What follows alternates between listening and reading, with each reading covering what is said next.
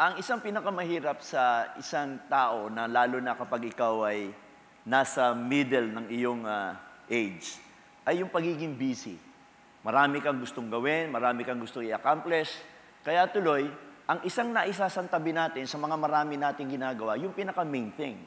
And the main thing, bilang isang leader o bilang isang Kristiyano, ay yung discipleship.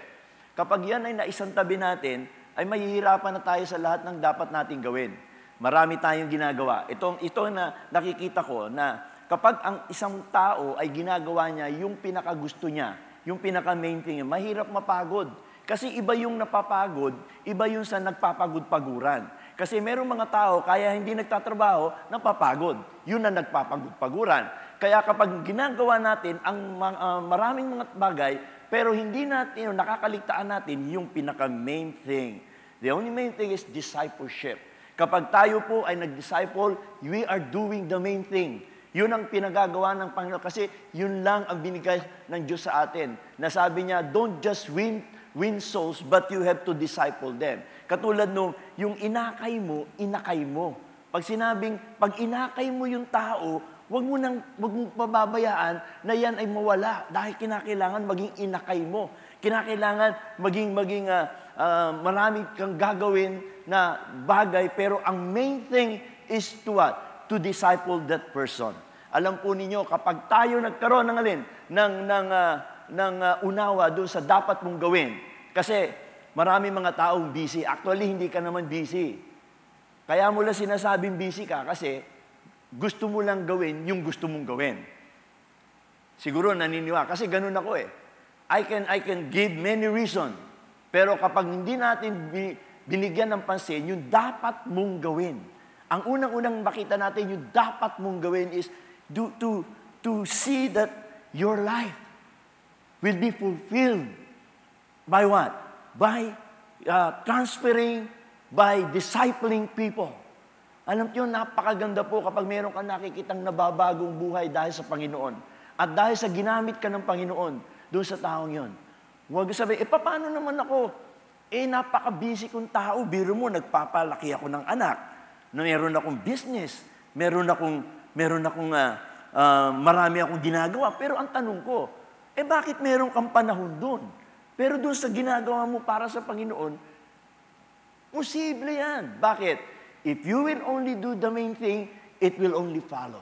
I, I, I, I uh, worked in the Philippine Airlines for 22 years. Would you imagine, kung ako ay nagtatrabaho, pero hindi ko iniwan yung pagiging pastor, yung pagiging leader ko. As a matter of fact, during that time, I'm also a national leader by the time. Pero napaka-busy ko. Pero nung nakita ko that the main thing should be done, ay kinakailangan mag-disciple ako, magpasa ako ng buhay. Sometimes, yung pag-discipleship indirectly, na mangyayari. Kasi nung araw, hindi naman pasyado ko nakafocus doon sa, sa discipleship. I'm doing many things. Marami akong posisyon, marami ako nasa, nasa national leadership ako. Pero, nung, nung nagkaroon ng konting panahon sa discipleship, alam nyo, lahat ng mga na-disciple ko nung araw, like, you know, nasa abroad na sila, ang sabi na, Pastor Pai, ang dami-dami mong nasabi sa amin at yun ang tineasure namin And now, here we are.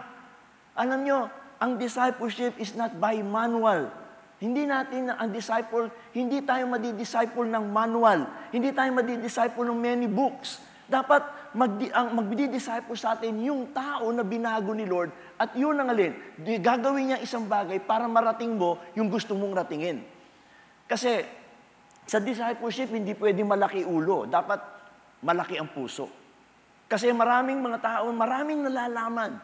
There's a lot of books. There's nothing wrong reading books. But the only thing is, is your heart big enough? So that that heart will be transferred to that person. Listen, if, if you have this big heart, tandaan natin, ang ating gagawin ay yung pinaka-main thing. Marami tayong gustong i-accomplish. Marami tayong gustong gawin. Gusto natin gawin natin ito, gusto natin marating natin ito, gusto natin magkaroon ng ganito. Pero hindi mangyayari yan if you will not do the main thing. Because alam nyo, ang aking leaders, ang, yung leaders na, ng mga kabataan na pinasahan ko ng buhay, they are now The one who is telling me, Pastor, gusto kong tumulong sa ministry mo.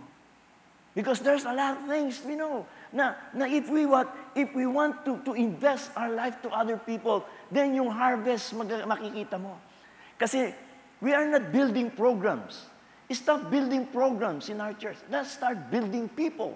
If we start to build people, then that's the time. Marami kayong alin, marami kayong makikita na in the long run, pupunta sa iyo yung mga tao and they are praising God for what they have done through you. Kaya, wag ho kayong malilito. You master the hard work. Do not master. I repeat, do not master the easy work. The hard work.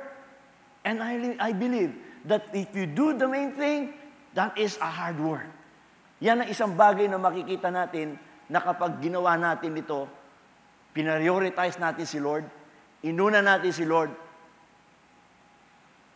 tuloy-tuloy ang paglago. At ito isa pang nakita ko. Kapag inuna mo si Lord, right? Kasi ako alam ko yung peak time ko eh.